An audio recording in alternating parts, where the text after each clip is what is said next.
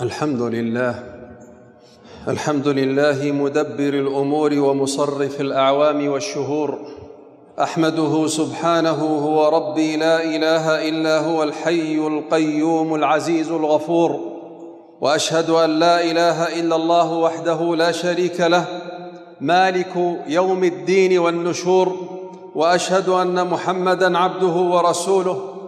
المبعوث إلى الثقلين بالهدى والنور. صلى الله وسلم عليه وعلى آله وأصحابه وأتباعهم بإحسان على مر العصور وكر الدهور. أما بعد فيا أيها الناس أوصيكم ونفسي بتقوى الله.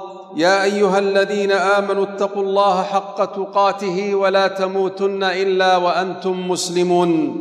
أيها المسلمون إن لكل شيء في هذه الدنيا نهاية. وإن هذا العام الهجري قد آذن بالرحيل وذلك دافع إلى أخذ العبر والتفكر بقيمة الدهر فمرور الساعات والشهور والأيام وتصرم الدهور والأعوام وما فيها من الوقائع الجسام عبرة للمعتبرين وذكرى للذاكرين. قال أحد السلف لا خير في الحياة إلا لتائب أو رجل يعمل في الدرجات يعني أن التائب يمحو بالتوبة ما سلف من السيئات والعامل يجتهد في علو الدرجات ومن عداهما فهو خاسر كما قال جل في علاه والعصر إن الإنسان لفي خسر إلا الذين آمنوا وعملوا الصالحات وتواصوا بالحق وتواصوا بالصبر. فأقسم الله تعالى أن كل إنسان في هذه الدنيا خاسر إلا من اتصف بهذه الأوصاف الأربعة الإيمان بالله والعمل الصالح والتواصي بالحق والتواصي بالصبر على الحق. هذه السورة ميزان للأعمال يزن المؤمن بها نفسه فيبين له بها ربحه من خسرانه. ولهذا قال الإمام الشافعي رحمه الله لو ما أنزل الله على عباده حجة إلا هذه السورة لكفتهم أي لكفتهم في باب الاتعاظ والاعتبار بمرور الأيام والشهور والسنوات. وفي صحيح البخاري عن النبي صلى الله عليه وسلم أنه قال أعذر الله إلى امرئ أخر أجله حتى بلغه ستين سنة. وفي الترمذي قال صلى الله عليه وسلم أعمار أمتي ما بين الستين إلى السبعين وأقلهم من يجوز ذلك. يا أبناء العشرين كم مات ورحل من أقرانكم وأصحابكم وخلانكم وتخلفتم بعدهم في هذه الدنيا. يا أبناء الثلاثين أصبتم بالشباب على قرب من العهد فما تأسفتم. يا أبناء الأربعين ذهب الصبا وأنتم على اللهو قد عكفتم. يا أبناء الخمسين قد تنصفتم المئة وما أنصفتم. يا أبناء الستين أنتم على معترك المنايا قد أشرفتم. أتلهون وتلعبون؟ لقد أسرفتم اسرافا كبيرا. يا من تمر عليه سنة بعد سنة وهو مستثقل في نوم الغفلة والسنة. يا من يأتي عليه عام بعد عام وقد غرق في بحر الخطايا فعام وغرق في ذنوبه. يشاهد الآيات والعبر كلما توالت عليه الأعوام والشهور ويسمع الآيات والسور ولا ينتفع بما يسمع. ولا بما يرى من عظائم الأمور ما الحيلة في من سبق عليه الشقاء في الكتاب المسطور؟ فإنها لا تعمى الأبصار ولكن تعمى القلوب التي في الصدور. ومن لم يجعل الله له نورا فما له من نور. فعلينا يا معاشر المسلمين علينا جميعا أن نعتبر بمن مد الله بأعمارهم وأرسل لهم النذر. قال جل وعلا أولم نعمركم ما يتذكر فيه من تذكر؟ وجاءكم النذير وجاءكم النذير فذوقوا فما للظالمين من نصير. قال غير واحد من المفسرين بأن النذير هو الشيب الذي خرج في العارضين وفي الرأس. هذا الشيب نذير للرحيل من هذه الدنيا. وكفى بالشيب واعظا لمن اعتبر. فتذكروا رحمكم الله بانقضاء العام الهجري انقضاء الأعمار. وتذكروا بالانتقال لعام جديد هجري الانتقال إلى دار القرار. جنة النعيم جعلني الله وإياكم ووالدين من أهلها. قال جل وعلا يا قوم إنما هذه الحياة الدنيا متاع وإن الآخرة هي دار القرار. من عمل سيئة فلا يجزى إلا مثلها ومن عمل صالحا من ذكر أو أنثى وهو مؤمن فأولئك يدخلون الجنة يرزقون فيها بغير حساب. بارك الله لي ولكم في القرآن العظيم ونفعني وإياكم بما فيه من الآي والذكر الحكيم. أقول ما تسمعون. واستغفر الله لي ولكم ولسائر المسلمين من كل ذنب فاستغفروه فيا فوز المستغفرين. الحمد لله الحمد لله وكفى وصلاة وسلام على رسوله المجتبى وعلى آله وصحبه ومن سار على نهجه واقتفى. أما بعد فاتقوا الله حق التقوى أيها المسلمون. هناك بعض المخالفات التي تنتشر نهاية كل عام هجري. تنتشر هذه المخالفات عبر وسائل التواصل الاجتماعي والقنوات الفضائية والشبكات المعلوماتية ونحوها. ومن ذلكم يا معاشر المسلمين أولى هذه المخالفات. لا يشرع التهنئة بالعام الهجري الجديد لعدم وروده عن السلف الصالح من القرون المفضلة. ولو كان خيرا لسبقونا إليك. ولكنك أخي المسلم إن بادرك أحد بالتهنئة فقل وإياك وجزاك الله خيرا ونحوا من هذه العبارات.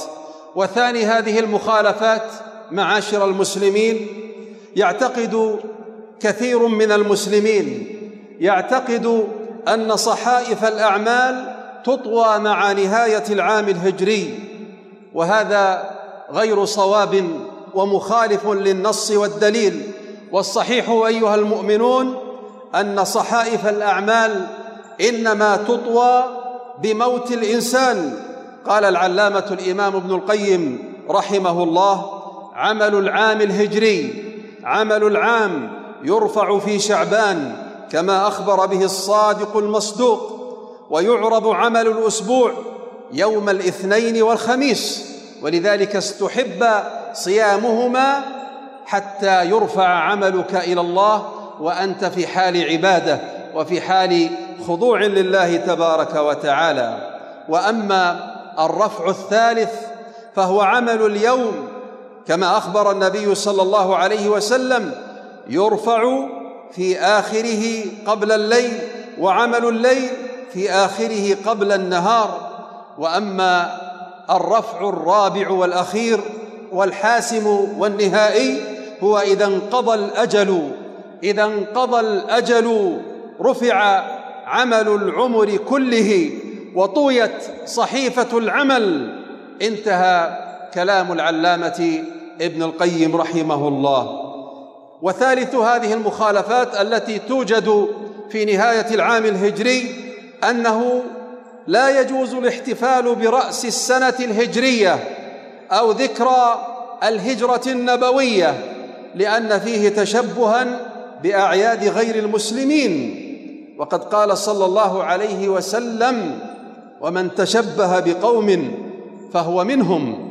وقد نهينا عن التشبه بهم وكذلك هو أمر حادث لم يفعله الرسول صلى الله عليه وسلم ولا الصحابة من بعده لا سيما والسنة الهجرية لم توقت إلا في زمن الخليفة الراشد عمر رضي الله عنه فالاحتفال برأس السنة الهجرية أو بالهجرة النبوية بدعة منكرة.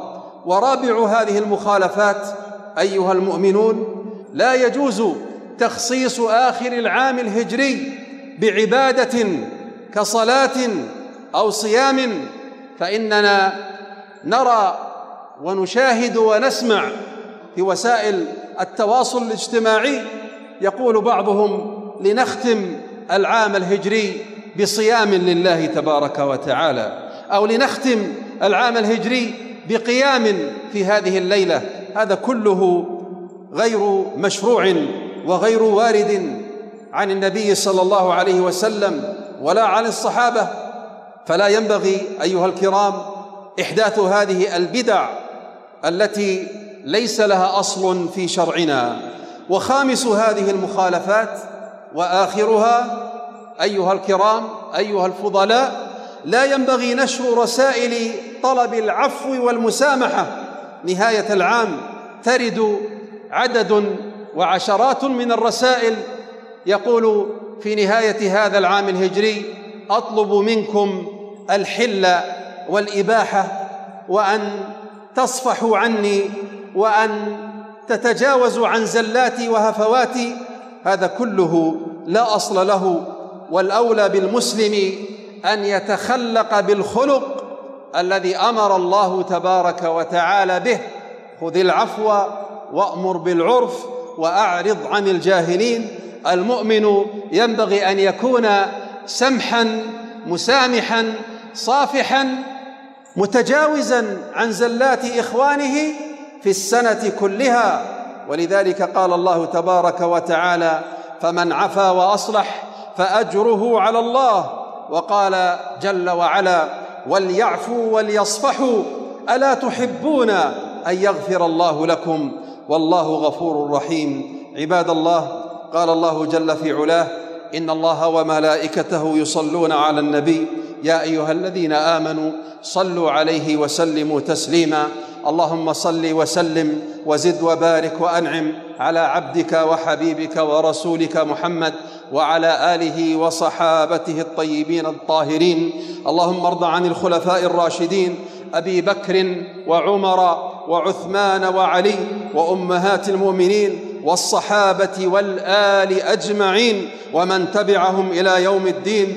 اللهم أعز دينك وكتابك وسنة نبيك وعبادك الصالحين. اللهم انصر من نصر الدين واخذل من خذل عبادك الموحدين. اللهم أصلح أحوال المسلمين في كل مكان. اللهم أصلح أحوال المسلمين في بلاد كندا. اللهم أصلح أوطان المسلمين اللهم أصلح أوطان المسلمين وديارهم وول عليهم خيارهم واكفهم شر شرارهم.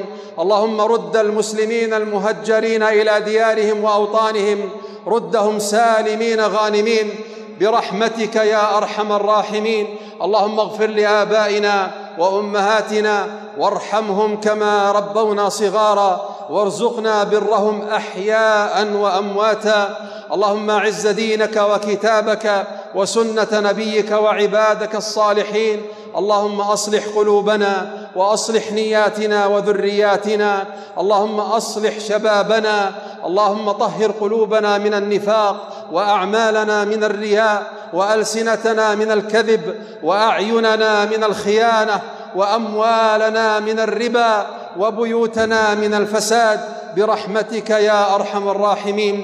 عباد الله إن الله يأمر بالعدل والإحسان وإيتاء ذي القربى وينهى عن الفحشاء والمنكر والبغي يعظكم لعلكم تذكرون. فاذكروا الله العظيم يذكركم واشكروه على وافر نعمه يزدكم ولذكر الله أكبر. والله يعلم ما تصنعون.